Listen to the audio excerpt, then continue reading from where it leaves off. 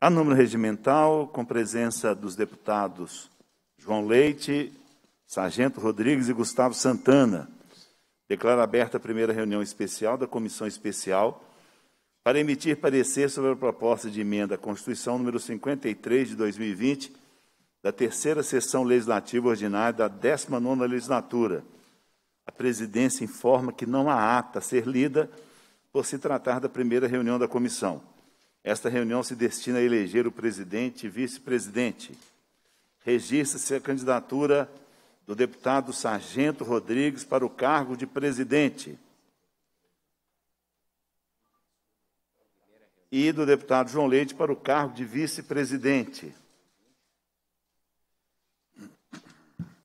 A presidência submeterá a candidatura à votação pelo processo nominal em conformidade com o artigo 259, combinado com o inciso 6 do artigo 9 do regimento interno. Será eleito o candidato que obtiver o voto da maioria dos membros da comissão. A presidência vai dar início ao processo de votação para o cargo de presidente. Em votação, a candidatura do deputado Sargento Rodrigues para o cargo de presidente, como voto o deputado Gustavo Santana. É deputado mais. Gustavo Santana vota João, o Sargento Rodrigues para presidente, presidente. Deputado João Leite vota também no deputado Sargento Rodrigues para presidente. Como vota Sua Excelência o deputado Sargento Rodrigues? Voto para voto para presidente da comissão da PEC 53, comissão especial, Sargento Rodrigues para presidente. Encerra-se a votação, proclama eleito para o cargo de presidente o deputado Sargento Rodrigues. Passo imediatamente, então, a declaração de empossado como presidente da comissão, o deputado Sargento Rodrigues, a quem passo a, a direção dos trabalhos.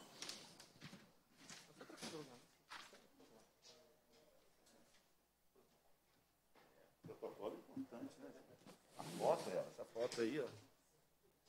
Amanhã está em todos os pelotões, companhias, batalhões. Agradeço a confiança em mim depositada, os votos do deputado Gustavo Santana e deputado João Leite. Me sinto honrado em presidir a comissão especial que emitirá parecer sobre a PEC 53, que trata da Polícia Penal no Estado de Minas Gerais. Agradeço a confiança do deputado João Leite e do deputado Gustavo Santana.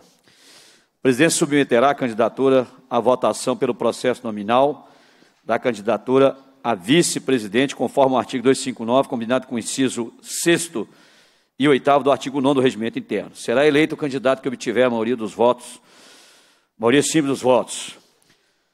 A presidência vai iniciar o processo de votação para a candidatura a vice-presidente da comissão especial. Como vota o deputado, o candidato o deputado João Leite, como vota o deputado Gustavo Santana. Deputado Gustavo Santana vota para o deputado João Leite como vice-presidente, senhor presidente. Esse presidente também vota para a candidatura de vice-presidente da comissão especial, o deputado João Leite. Como vota o deputado João Leite? Deputado João Leite vota no deputado João Leite. Com encerra-se a votação. Foram três votos para a eleição do deputado João Leite ao cargo de vice-presidente da Comissão Especial. Proclame eleito para o cargo de vice-presidente da Comissão Especial APEC 53 o deputado João Leite.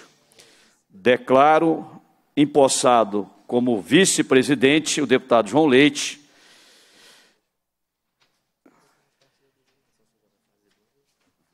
O presidente suspende os trabalhos por dois minutos.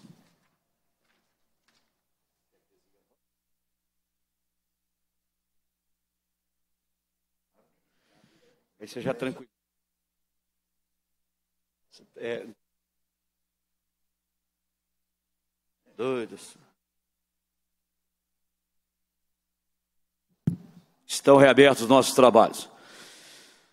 A presidência designa como relator da matéria da comissão especial, que vai emitir parecer a PEC 53, PEC da Polícia Penal, o ilustre deputado Gustavo Santana a quem indago se deseja fazer uso da palavra.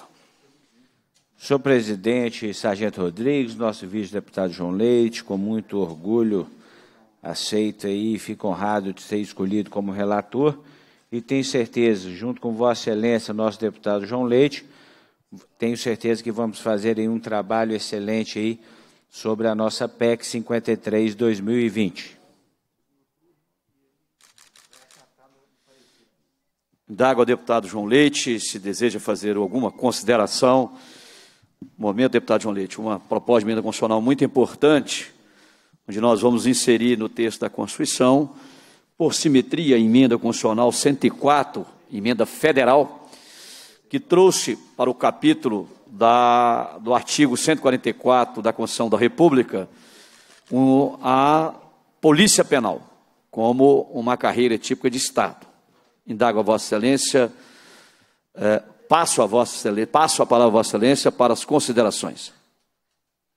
Senhor presidente, deputado Sargento Rodrigues, é sem dúvida uma grande responsabilidade que nós temos ao sermos escolhidos para dar o parecer nessa proposta à emenda à Constituição tão importante da lavra do nosso colega, deputado doutor delegado Eli Grilo, e é uma grande oportunidade, não é? com o conhecimento de Vossa Excelência, presidindo esta comissão, e a escolha do relator, o deputado Gustavo Santana, que tem sido um baluarte aí pela luta em favor da Polícia Penal do Estado de Minas Gerais, também do sócio educativo. Então, eu creio que essa comissão deverá fazer um trabalho muito importante para que se consolide cada vez mais um grande sonho de todos nós, que é a polícia penal. Nós que vivemos o tempo da polícia civil e da própria polícia militar, fazendo guarda de presos em Minas Gerais. Agora nós temos cada vez mais fortificado é, e instalado é, o que deveria ter sido desde sempre, uma polícia própria para a segurança das unidades penais. E a Polícia Militar, com seu trabalho fundamental, ostensivo, nas cidades, dando segurança para a população, e também a, Polícia Civil, fazendo o seu trabalho judiciário, cuidando da investigação, é, orientando o combate ao crime no nosso Estado. É um momento importante, tive a oportunidade ainda no início da minha carreira como é, deputado da Assembleia Legislativa, de presidir uma comissão, é, uma, uma, CPI, uma comissão parlamentar de inquérito do sistema carcerário.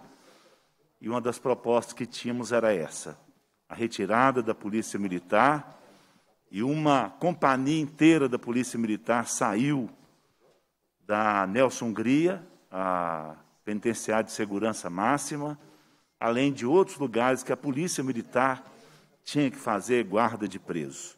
A Polícia Civil também saiu e hoje nós temos a Polícia Penal e estamos juntos aqui nesse momento histórico para é, dar mais é, estrutura, estruturar melhor ainda a Polícia Penal do Estado de Minas Gerais. Eu fico tranquilo em participar com a presidência do deputado Sargento Rodrigues, cuidadoso, notável é, no seu trabalho, e com o deputado Gustavo Santana, totalmente voltado para a questão da segurança pública, atenção com as carreiras da segurança pública do Estado. Nós teremos uma grande oportunidade, então, e é claro, vamos estar abertos, né? e o relator já demonstrou isso, estará aberto a todas as sugestões. Afinal, esperamos apresentar para os nossos colegas, para o Parlamento de Minas Gerais, uma proposta que fortaleça é, e definitivamente coloque a nossa Polícia Penal fazendo a guarda dos presos no nosso Estado.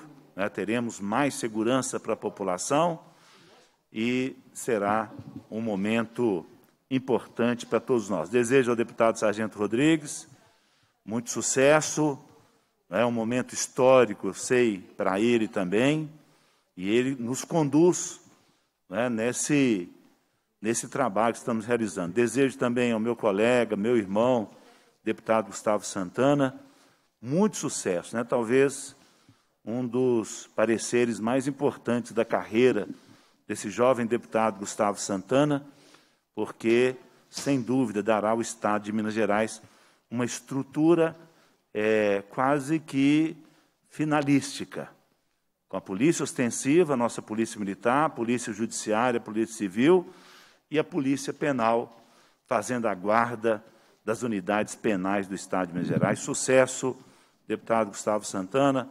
sucesso, deputado Sargento Rodrigues, presidente dessa comissão, a quem devolvo a palavra. Agradeço, deputado João Leite. É uma oportunidade, eu conversava aqui com o deputado Gustavo Santana, é uma oportunidade, deputado João Leite, de inclusive a comissão é, readequar texto da Constituição do Estado. Se Vossa Excelência, por exemplo, deputado João Leite, pegar o texto da emenda constitucional 104, emenda à reforma da Previdência do Estado, promulgada no dia 16 de agosto de 2020, aqui pela mesa da Assembleia, nós vamos certificar que o tempo, por exemplo, das carreiras de agente penitenciário e socioeducativo são tempo de natureza estritamente policial. Nós já votamos isso. Disse aqui ao Luiz colega deputado Gustavo Santana que a Sejusp foi recriada no governo passado, porque até então era o secretário de Estado de Defesa Social. Talvez seja na hora também de aproveitar a tramitação da matéria para fazer uma adequação à estrutura existente.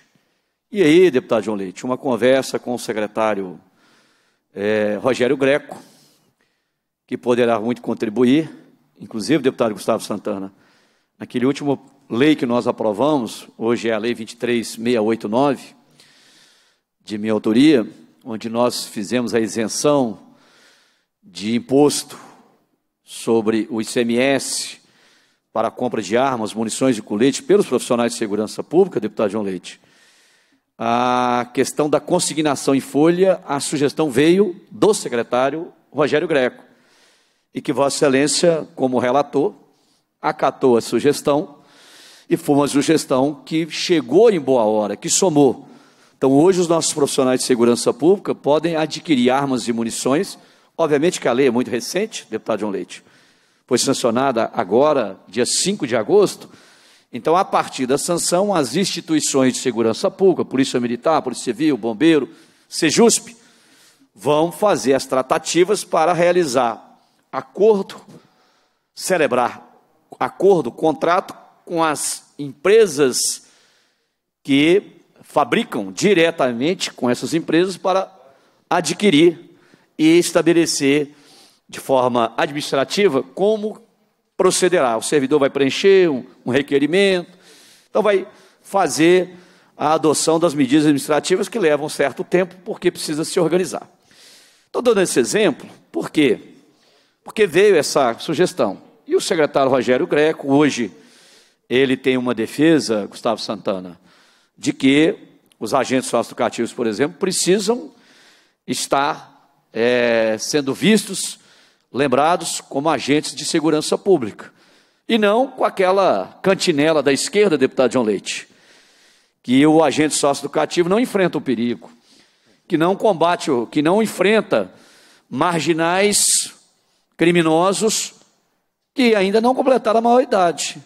Do ponto de vista técnico jurídico, eu não posso cometer falar sem falar isso, porque como digo advogado, a Lei 8.069 trata eles como menor infrator, mas são de ato infracional, análogo ao estupro, ao latrocínio, como foi vítima aqui o nosso gerente do PROCON Assembleia, o senhor Alexandre Werneck, Werneck é sua namorada, foi vítima de uma quadrilha cujos dois adolescentes de 17 anos roubaram, estupraram a Lígia Vigiano, queimaram o carro e botaram fogo nas vítimas. Então é o seguinte: os agentes socioeducativos também fazem parte desse contexto da segurança. E aí, eu apenas deixei aqui uma sugestão ao relator, caso ele queira, deputado João Leite, nós podemos ir junto ou chamar o secretário para uma reunião aqui no gabinete do Gustavo. Agora ele está como relator da matéria, caberá a ele acrescentar ou não no seu parecer, porque o parecer é algo que é de livre, livre arbítrio do, do relator, caberá a ele a entender se isso soma ou não. Mas aqui são apenas sugestões. O mais importante, deputado Gustavo, é que, como presidente da comissão especial e Vossa Excelência como relator, deputado João Leite, de forma muito, é, eu diria, democrática, generosa, que é muito peculiar a pessoa dele, ele abriu mão de ser presidente, abriu mão de ser relator. Isso faz parte da, da natureza do deputado João Leite, até pela vasta experiência que ele tem no parlamento como um grande conciliador. É, nós temos, deputado João Leite, condições é, de dar, de entregar ao próprio governo, porque se a PEC está aqui e é de iniciativa de um parlamentar nosso, o que, que acontece?